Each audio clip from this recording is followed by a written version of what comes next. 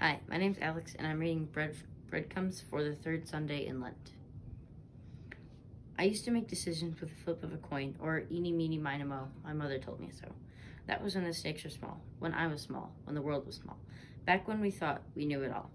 When you grow up quickly, when you start to see that not all have the freedom to love equally, or breathe freely, or, po- or protest peacefully. And you grow up quickly when you start to see that the church is shrinking and the world is sick. The news won't quit, and no amount of guessing games can right these wrongs. So today I'm going to do my best to tuck my ego in the pocket of my chest. Today I will listen louder than I speak and look for tables that Jesus is flipping, for our God carved words into stone. Our God led the people in a pillar of smoke.